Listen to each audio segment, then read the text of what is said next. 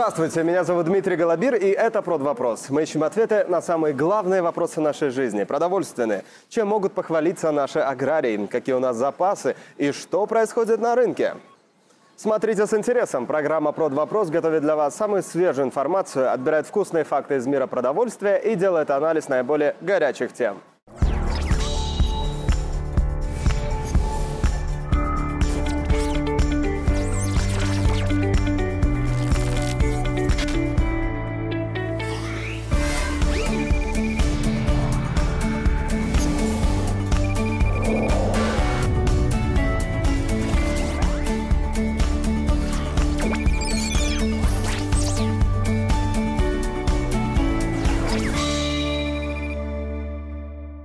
Генеральный спонсор программы – Национальный управляющий холдинг «Казагра». Делая вместе, достигаем большего. Смотрите в программе «Эффект кооперации. Выгодно, удобно, результативно». Сладкие подарки к Новому году. Секреты кондитерского мастерства от фабрики «Рахат». Фастфуд по-казахстански. Производство лапши быстрого приготовления в Астане. Витамины для рынка. Овощи из отечественных теплиц. От идеи к тренду. Так можно характеризовать развитие кооперации в сельском хозяйстве. Сначала фермеры, как и любые бизнесмены, продумывали, просчитывали, наблюдали за тем, насколько будет эффективна работа объединений. Увидев результат, крестьяне захотели перенять опыт. Как сегодня работают кооперации в отечественном АПК? В чем их рентабельность и что делает государство для их развития?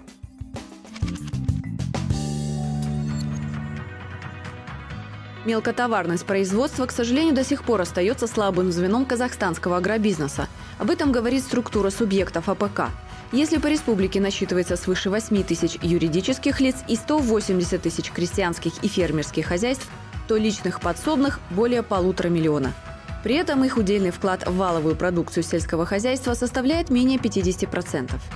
А все потому, что мелкие подворья не могут обеспечить должного качества молока и мяса, которое требуют перерабатывающие заводы. Именно поэтому создание кооперативов сегодня является одним из приоритетных направлений в развитии отечественного АПК. И в рамках закона о кооперации, который был принят в январе 2016 года, республика создает более привлекательные условия для объединения мелких хозяйств. Если раньше в кооперации действовало правило «один пай, один голос», то сегодня один участник, один голос. То есть все участники на равных. Также каждый волен добровольно вступать или выходить из СПК. При этом при вступлении в кооператив его члены сохраняют свою независимость и право на собственничество на землю и технику целью объяснения всех плюсов СПК в регионах сегодня проводятся семинары с участием местных исполнительных органов, самих фермеров и профильных структур. Одно из таких мероприятий состоялось в городе Талдыкурган. Помимо встречи с крестьянами здесь подвели промежуточные итоги по темпам создания коопераций. На сегодняшний день в Алматинской области зарегистрировано 189 сельхозкооперативов. Из них 141 соответствуют всем индикаторам успешности. То есть их можно назвать полноценно действующими и дающими продукцию. При этом по плану область должна была создать 111 СПК. Положительная динамика наблюдается и в целом по республике. Так, вместо запланированных 326 СПК в этом году создано более 700 коопераций. Конечно, многие из них еще ожидают запуска производственных мощностей, но главное – процесс пошел. Тем более, что в декабре прошлого года была принята пятилетняя государственная программа развития АПК. В рамках нее кооперативы получат доступ к средствам в приоритетном порядке.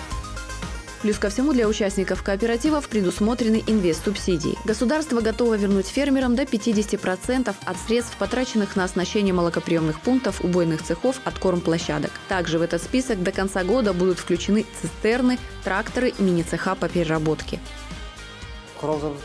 Кроме помощи, при покупке техники предусмотрены прямые субсидии за сданную продукцию. Например, за одного откормленного бычка 20 тысяч тенге, за один литр молока 10 тенге, за откормленного ягненка полторы тысячи тенге. На покупку комбикорма выдается по 20 тысяч тенге за тонну. После серии семинаров в конце года в Астане будут подведены итоги. Все предложения, полученные в регионах, учтут для внесения поправок и дополнений к действующим условиям поддержки кооперативного движения. А это значит, что развитие таких объединений станет еще более эффективным.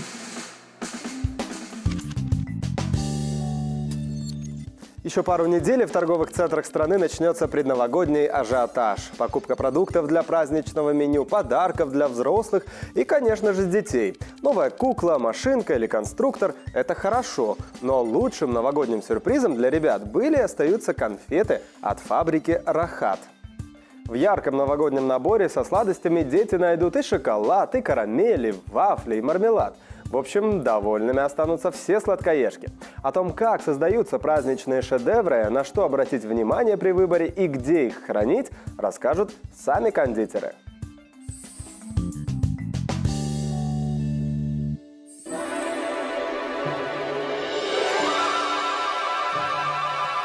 Более полутора миллионов сладких подарков к новогодним праздникам выпустит крупнейшая кондитерская фабрика в Казахстане – «Рахат», в ассортименте предприятия 63 наименования новогодних наборов. Причем ни один из них не повторяется. У каждого комплекта свое наполнение. В десертном миксе присутствуют все изделия кондитеров – шоколад, конфеты, карамель, дрожже, вафли, печенье. Один из самых популярных продуктов в новогодних наборах – шоколадные монеты. Мы в сувенирном цеху, где их упаковывают. Сотрудники фабрики эти линии в шутку называют «монетный двор». А в другой части сувенирного цеха изготавливают шоколадные фигурки. Вначале на стенке специальной формы вручную наносят узор, а потом ее полностью заливают шоколадом и закрепляют на специальной установке. Формы непрерывно вращаются до того, как полностью остынут. Только так шоколад распределится равномерно, кондитерское изделие достигнет нужной консистенции. От разработки и применения таких технологий зависит и качество.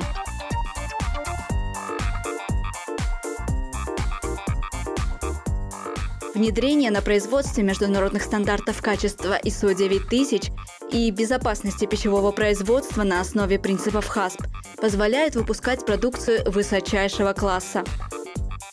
Проверка всего входящего сырья, выходящей всей готовой продукции на э, исследование безопасности, то есть по всем показателям микробиологии. И только после полной проверки на всех этапах производства кондитерские изделия поступают в цех комплектации. Именно здесь собирают новогодние наборы. Параллельно работают две линии. Вначале готовят подарочную упаковку, а после, в соответствии со спецификацией, происходит наполнение подарка сладостями. В итоге, когда подарочек заполняется, он подъезжает на весы. На весах каждый подарочек завешивается. И потом далее дополнительная упаковка. Это наклейка стикеров, различных информационных книжечек. Новогодние наборы готовы к реализации. Их можно купить в любом уголке нашей республики, а точнее в 18 городах и 14 областных центрах. Приобретая сладкий новогодний подарок, обратите внимание на его срок годности. Недобросовестные торговцы могут сбывать залежалый товар.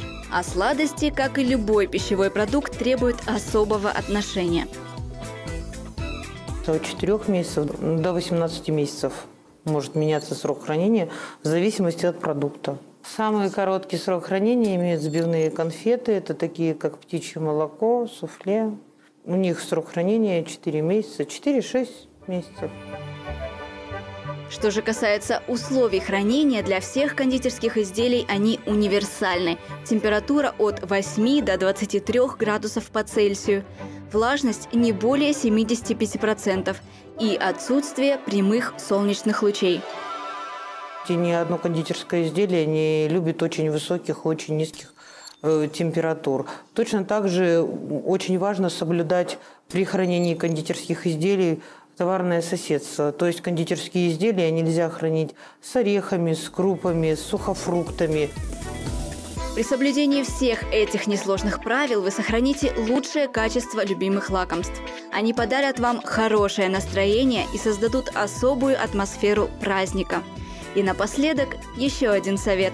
Поспешите с покупкой новогодних сладостей. Уже в последние недели декабря весь этот ассортимент вы можете не найти. А все потому, что спрос на продукцию Рахат и в особенности на праздничную велик. Любимые сладости ждут и взрослые, и дети. На продукции фабрики Рахат, которой в этом году исполнилось 75 лет, выросло не одно поколение.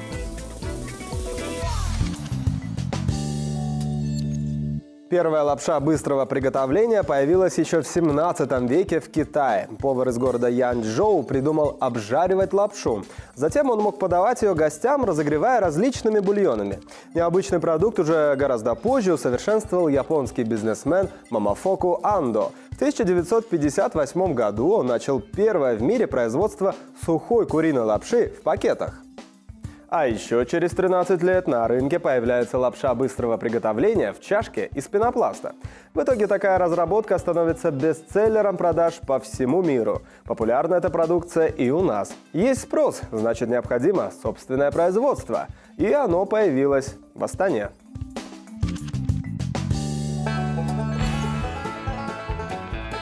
Лапша быстрого приготовления – это один из самых популярных перекусов среди казахстанцев. Но мы потребляем более 15 тысяч тонн продукции в год. Причем этот сегмент представлен именно импортом из России, Китая и Кореи. Но теперь свое место на рынке занимает и казахстанский продукт.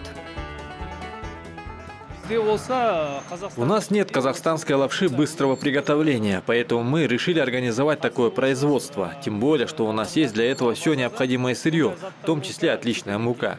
Поэтому мы сделали мониторинг рынка, убедились в востребованности продукта и запустили выпуск лапши. Комбинат по производству лапши запустили в марте этого года. Реализовать проект помогла одна из структурных подразделений нацхолдинга «Казагра» – компания «Казагрофинанс». Она инвестировала в производство 981 миллион тенге. На эти деньги удалось закончить строительство объекта, оснастить его лучшими технологическими линиями. Его закупили в Китае. Уж там в изготовлении лапши знают толк. Все оборудование инвестор предоставил бизнесменам в лизинг. Общая э, мощность проекта составляет 30 э, миллионов э, готовых, готовых пачек в год с дальнейшим увеличением до 60 миллионов. Если посмотреть на рынки наших магазинов и супермаркетов, то на полках завален товар российского, китайского и корейского производства. Теперь же на наших полках будет и казахстанский, отечественный, экологически чистый продукт. В ассортименте комбината три вида лапши с говядиной, куриным мясом и грибами. Причем наша продукция более конкурентоспособна по сравнению с импортной по цене и объему. 100 граммов отечественного изделия обойдутся в 130 тенге. Столько же стоит и продукты иностранного бренда. Плюс ко всему, уверены производители, наша лапша выигрывает и в качестве. Качество продукции отличное, вредных добавок мы не используем, все ингредиенты лучшего качества. А насчет цены мы будем готовы ее снизить, если это понадобится.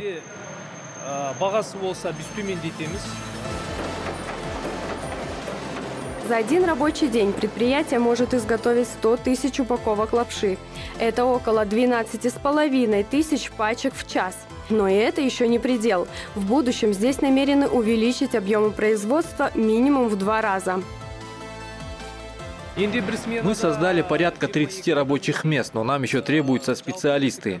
Нужны около 90 новых работников. Хочу отметить, что мы готовы принимать кандидатов без опыта работы и обучать их. Как только наберем коллектив, сделаем производство круглосуточным. Первыми такие изделия смогли оценить на вкус жители Астаны и северного региона страны. В будущем заварить себе лапшу смогут все казахстанцы. А затем производители обещают разнообразить ассортимент. На комбинате хотят освоить выпуск супов быстрого приготовления, соусов и кондитерских изделий. В общем, рынок вдоволь насытят отечественным продуктом.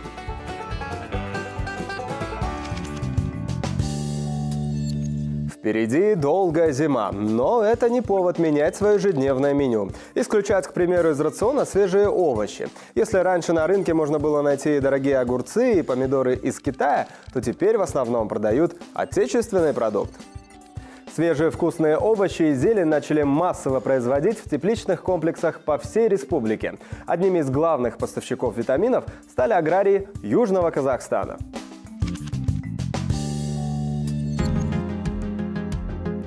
Южно-Казахстанскую область по праву можно назвать тепличной столицей республики.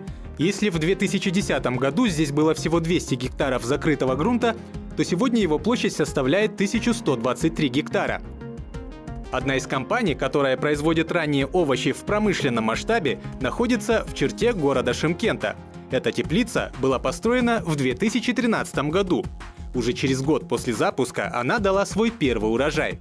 А сегодня продукция агропредприятия поставляется не только по Казахстану, но и в ближнее зарубежье. Мы в Россию отправляем фурами, получается. Одну фуру мы заполняем осенью, получается, мы заполняем за 4-5 дней. Поскольку осенью климат неблагоприятный, нету солнца э, и урожая намного меньше, чем весной. А весной, весной мы собираем за два дня, отправляем фуру также в Россию около 18-17 тонн. Этот комплекс построен по израильской технологии с применением передовых методов тепличного производства. Почву заменяет специальный субстрат, а внутри объекта для растений создается идеальный микроклимат – Многие процессы управляются с помощью компьютера, без человеческого вмешательства. Полив у нас идет автоматически. Э, мы запускаем полив через компьютер, э, даем концентрацию удобрений, и компьютер сам регулирует, сколько ему нужно, по килоджоулям поливаем, по суммарному освещению. Еще одна особенность теплицы в том, что здесь производят экологически чистую продукцию. С вредителями борются с помощью биологических средств защиты растений. В условиях закрытого грунта вместо ядохимикатов используются энтомофаги – природные враги вредителей. Завозим специально с Голландии такие насекомые, которые поедают вредителей. А химию вообще не используем. Вот, вот такая система работает. Вместе с энтомофагами закупают и пчел, которые опыляют растения. Их урожайность зависит от времени года. Весной получают до 400 тонн овощей, в основном это огурцы, а осенью 200 тонн помидоров. Кстати, первые три года теплица работала в экспериментальном режиме. За это время здесь опробовали несколько сортов томатов. В итоге остановились на сортах Endeavor и Mojitos.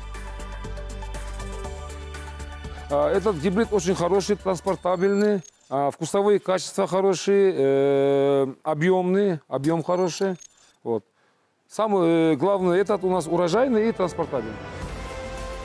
В осенний период урожай здесь собирают один раз в неделю, весной целых три раза. Сегодня до 30% выращенных овощей уходит на экспорт, но основная цель фермеров – насытить внутренний рынок – Огурцы и томаты отсюда развозятся по четырем крупным городам республики. Это Астана, Алматы, Караганда и Шимкент. В преддверии холодов теплица готова дать потребителям новую порцию витаминов. А в перспективе на агропредприятии намерены увеличить площади закрытого грунта вдвое. Значит, объемы поставок расширятся, и казахстанцы получат больше натуральной продукции отечественного производства. Такой была эта продовольственная неделя. В следующем выпуске вас ждет очередная порция интересных тем из агропродовольственного мира. Все наши программы вы можете посмотреть на сайте телеканала Хабар www.habar.kz, а интересующие вас агровопросы можете присылать в нашу редакцию.